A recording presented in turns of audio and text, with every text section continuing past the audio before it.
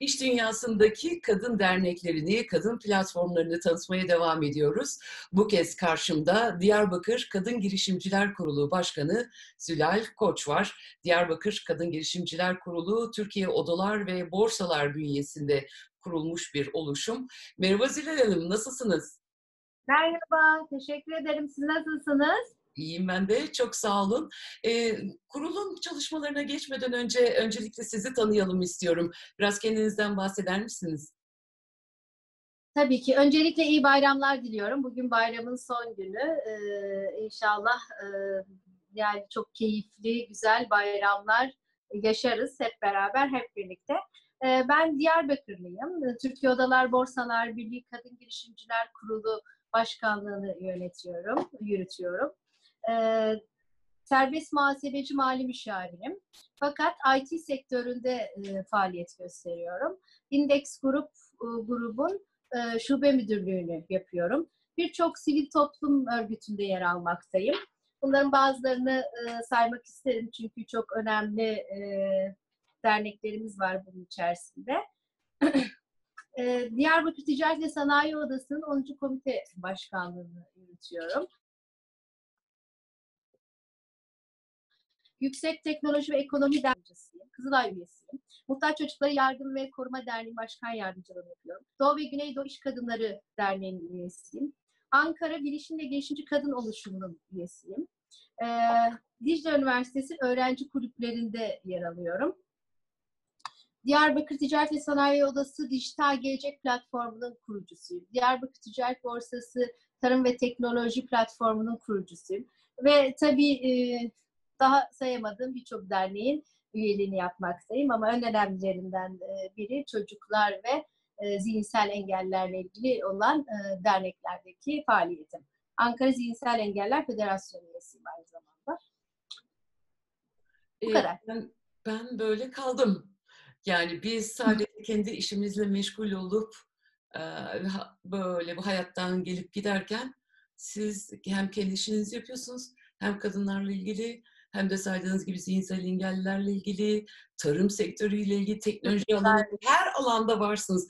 Ne kadar nasıl zaman ayırabiliyorsunuz hepsine? Hepsi de gönüllü çalışmalar öyle değil mi? Şimdi, şimdi şöyle söylemek istiyorum. Hepimizin kendimizin e, her bireyin sorumluluğu var topluma karşı, kadınlara karşı, çocuklara karşı, hayvanlara karşı, doğaya karşı e, sorumluluğu var.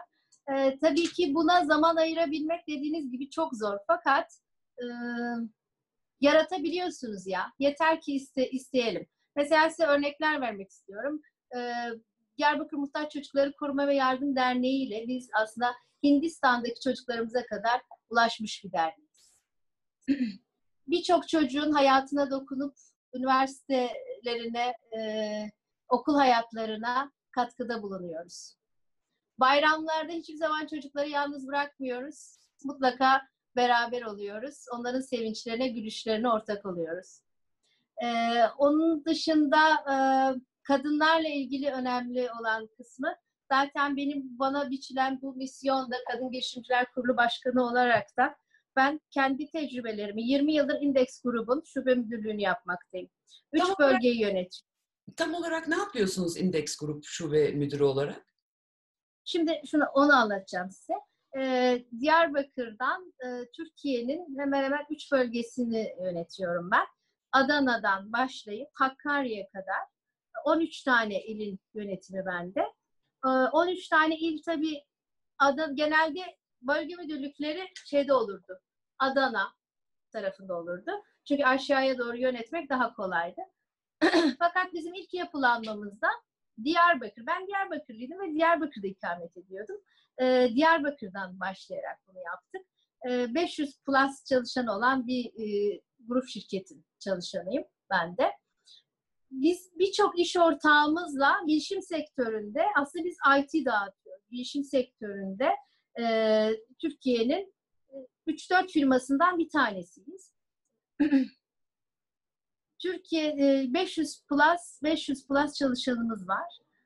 Onun dışında ne yapıyorsunuz iş şirket olarak tam olarak? Şirket olarak ne hizmeti veriyorsunuz? Ne yapıyorsunuz tam olarak? Distribütörüz. Distribütör firmayız. birçok bilgisayar markasını Türkiye'de dağıtımını sağlıyoruz.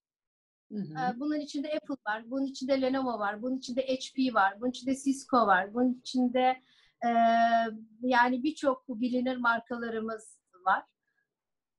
Network altyapı işi yapıyoruz. Türk Telekom'la bağlantılarımız var.